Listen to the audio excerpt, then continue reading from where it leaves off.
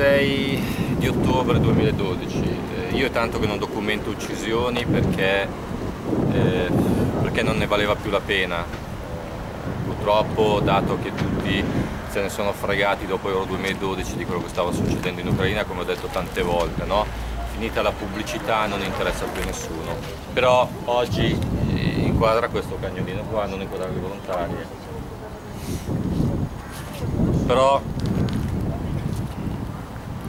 eh, niente, è successa una cosa grave eh, stanotte e praticamente hanno avvelenato diversi randaggi, questo è il primo, quindi torniamo, torniamo a fare cronaca, torniamo a documentare, questo è il primo randaggio, eh, oltretutto randaggi eh, oltretutto randaggi eh, sterilizzati, come dico sempre, eh, che è inutile che vengano qua a sterilizzare le associazioni straniere, è inutile che vengano qua a sterilizzare i cani quando poi i cani sterilizzati vengono ammazzati.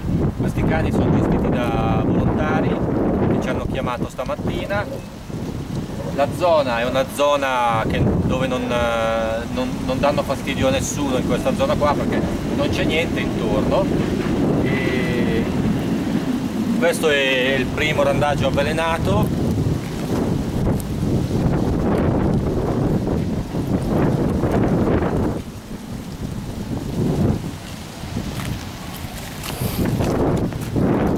andiamo, niente, andiamo a vedere il secondo che è una femmina sterilizzata anche lei.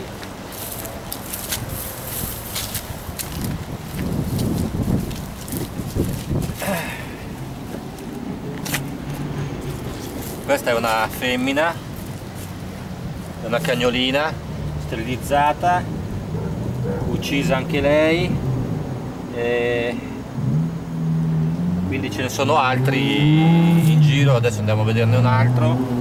Quindi tra l'altro come detto sono dei cani che, eh, che qui non danno fastidio perché non ci sono abitazioni, quindi non danno fastidio alla gente. Quindi i volontari pensano chiaramente ai dog hunter. Eh, eh, purtroppo adesso, come dicono, parlavo prima con i volontari, questi sono volontari che io non, non conosco, li ho conosciuti oggi, mi hanno chiamato, e praticamente adesso arriva l'autunno e inizieranno le stragi di animali un'altra volta. Quindi eh, questa è una creatura che è tranquilla perché erano cani che venivano gestiti dentro qua dai volontari qua è un posto disabitato e quindi non davano fastidio. Sono proprio venuti qua ad ammazzarli quindi non, non c'è verso. Adesso andiamo a vedere un altro poi ce n'è uno che sta correndo si sta cercando di prenderlo per portarlo in ospedale eh, vediamo. Adesso stiamo chiamando l'ospedale l'ospedale non risponde, adesso vediamo, tenteremo ancora, vedremo se si riuscirà a prendere perché sta correndo con il veleno in corpo, probabilmente è mezza avvelenata. Adesso andiamo a vedere l'altro cane che, che ce l'ha. Quindi riprendiamo a documentare perché non, le uccisioni ci sono state ancora, io non le ho documentate perché non mi sembrava più logico documentare dato che tutti sono girati dall'altra parte. La pressione europea è finita dopo Euro 2012 e quindi questi sono i risultati. E ripeto non sono i primi che sono stati avvelenati, sono stati avvelenati altri, noi stiamo raccogliendo le autopsie che vengono fatte agli animali con eh, veleni. E voi sapete che in, in Ucraina è proibito avvelenare i cani per legge, questi sono i risultati.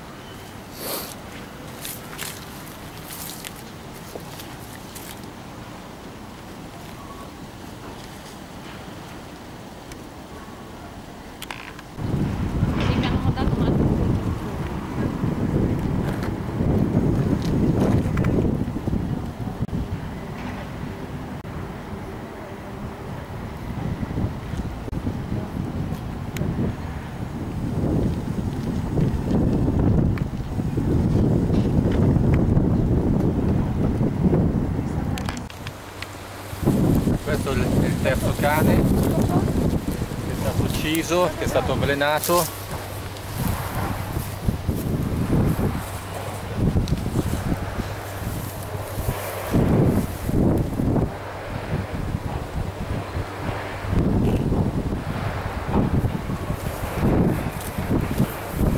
niente quindi questo è il terzo cane del branco adesso si sta cercando di recuperare quella che sta correndo.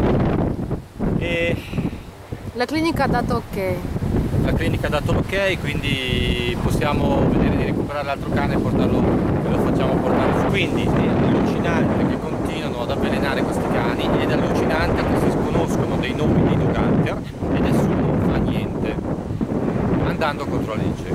Come ho detto, purtroppo c'è il primo ministro eh, ucraino eh, praticamente vuol far passare una legge, eh, non mi ricordo come si chiama il primo ministro ucraino, Azarov. Azarov vuol far passare una legge insieme ad altre persone per permettere l'uccisione dei cani e gatti randagi. Cioè, praticamente i cani e gatti randagi verranno messi nell'elenco delle, eh, della selvaggina cacciabile come cinghiali, cervi, eccetera, eccetera, eccetera. Durante questa legge voleva farla passare prima di Euro 2012, poi c'è stata la pressione di Euro 2012 eh, quindi praticamente non di Euro 2012 ma delle associazioni nostre, dalle denunce. E quindi lui scrisse, se vi ricordate, una lettera ai sindaci dicendo ferma, fermiamoci queste uccisioni perché praticamente eh, stiamo facendo una brutta figura e andremo contro eh, praticamente il business di Euro 2012, questa è la verità, lui ha scritto queste cose ai sindaci, perché c'era questa pressione da parte di associazioni, la pressione che io ehm, praticamente le uccisioni che ho documentato dove è iniziata questa pressione da parte dell'Europa verso eh, queste uccisioni, quindi erano in allerta e avevano smesso con le uccisioni, quindi hanno fatto sterilizzare i cani, hanno accettato i compromessi e i contratti con associazioni straniere per far sterilizzare i cani per far vedere che loro facevano qualcosa.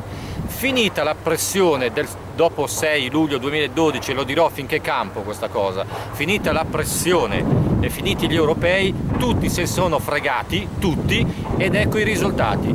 Si è continuato ad uccidere gli animali in Ucraina, si continua a Kharkov, si continua a Kiev, si continua in altre città, però gli animali sono tornati a morire in silenzio perché non fa più pubblicità per nessuno. Quindi è una vergogna e continuerò a denunciare questa cosa, che le associazioni italiane non hanno fatto niente, solo chiacchiere, non hanno messo un euro, nessuno ha messo un euro per costruire rifugi dove portare queste creature che oggi sono qua morte e si poteva salvarle. Quindi questa è una vergogna. Quindi eh, continuiamo ad assistere adesso a omicidi di branchi, adesso arriva l'autunno quindi si inizierà e non c'è più la pressione. Quindi il ministro eh, ha deciso, vuol far passare questa legge perché purtroppo qui in, i politici sono tanti cacciatori, vogliono far passare questa legge e quindi ci sarà uno sterminio di animali. Continuerà perché non è mai finita le uccisioni. Eh, non è mai finito niente, i cani stanno morendo ancora e tutti dopo luglio se ne sono fregati e sono tirati l'altra tutti quanti e questa è una vergogna perché l'Ucraina, i randaggi ucraini che, stanno, che sono crepati qua ancora avvelenati da Luganter e ancora avvelenati dalle comunali stanno morendo ancora però non gliene frega più a nessuno e questo è uno schifo, è una vergogna И кто следующий? E chi sarà il prossimo? И как это пережить? E come sopravvivere?